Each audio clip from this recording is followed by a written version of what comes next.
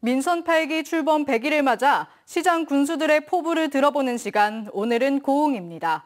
공영민 고흥 군수는 군민 통합의 실현에 한화된 고흥을 만들고 우주산업 등 새 먹거리를 통해 6만 인구를 10만 명으로 늘리기 위한 발판을 놓겠다고 강조했습니다. 데스크 인터뷰 유민호 기자입니다. 네, 안녕하십니까? 안녕하십니까. 교수님 취임 100일 먼저 축하드립니다. 감사합니다. 이 100일 동안 이제 많은 것들을 좀 느끼셨을 텐데 민선 8기 이것만은 좀 꼭 바꿔야겠다 하고 싶은 점이 있는지 먼저 질문 드리겠습니다. 우선 우리 공에서는 편가르기 없는 국민 통합의 공을 만들어야 된다. 이렇게 하고 열심히 국민 통합을 위해서 노력을 했습니다. 저는 선거가 끝나면은 나를 지지했던 지지하지 않았던 모든 국민이 다 100% 나를 지지했다고 생각하고 저는 군정을 이끌었습니다. 지금까지. 그러다 보니까 약간은 음, 편가르기가 없어지고 국민 통합이 발판이 마련됐다. 이렇게 말씀드릴 수가 있습니다. 그 다음에 우리 소멸 위기의 고흥, 어, 인구가 늘어야 됩니다. 그래서 10년 후에 인구 10만의 큰 운군을 만들겠다는 비전을 국민들한테 제시하고 이를 음, 발판을 마련하기 위해서 쉼없이 달려온 100일이었다. 이렇게 말씀드릴 수가 있습니다. 고흥건이 가장 중요한 게 우주항공 클러스터 산업 국가산 유치잖아요. 이게 지금도 어느 정도 가시적인 성과도 있고 한데 이게 어떻게 지금 준비돼 있고 앞으로 고흥군은 좀 어떻게 이제 달라질 거로 예상되는지 질문 드리겠습니다. 거기에 가장 중요한 핵심이 그 우주 발사체 국가 산단을 조성하는 일입니다. 그래서 지금 단계적으로 50만 평 규모로 조성을 할 텐데 어, 지금까지는 우리 정부에서 그 누리호 2차까지 발사를 했지 않습니까? 근데 앞으로는 음, 민간에게 그 정부 기술을 이전을 해서 어, 민간에서 누리호 3차부터는 발사를 한다.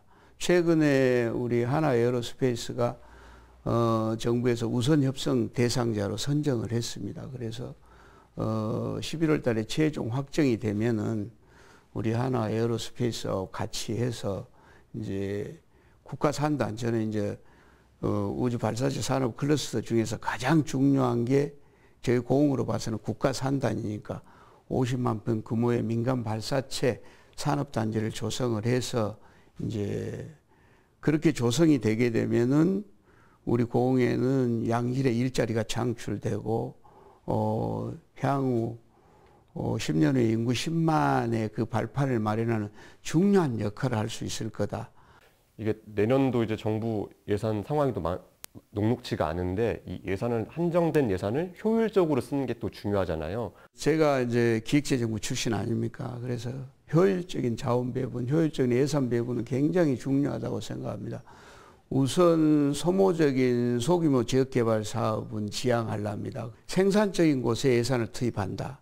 예를 들면은 우리 드론 중심 도시 고흥을 만드는 일, 그 다음에 선택과 집중을 통한 관광 인프라 구축하는 일, 그 다음에 우리 이제 스마트팜 혁신밸리가 고흥만에 있는데 이거를 중심으로 한 대규모 우리 고흥의 농수 축산 스마트 밸리를 조성을 해서 우리 젊은이들이 창업을 하고 수출 전진 기지로 만들겠다. 이런 곳에 예산을 투입해서 생산적인 곳에 투입을 해서 향후 인구 10만 이 발판을 마련하겠다. 끝으로 고흥 국민들에게 하고 싶은 말 있으면 한 말씀 부탁드리겠습니다. 우리 국민들 그 저를 선택해 준 이유를 잘 알고 있습니다. 우리 국민 통합 위해서 어, 향후 10년 후에 인구 10만의 더큰 운군을 만들라는 그런 명령으로 알고 오늘 하루도 우리 전체 1200 직원들하고 열심히 노력하고 있다 지켜봐 주시고 많은 성원과 응원을 부탁드리겠습니다. 감사합니다. 네, 오늘 인터뷰 감사합니다. 감사합니다.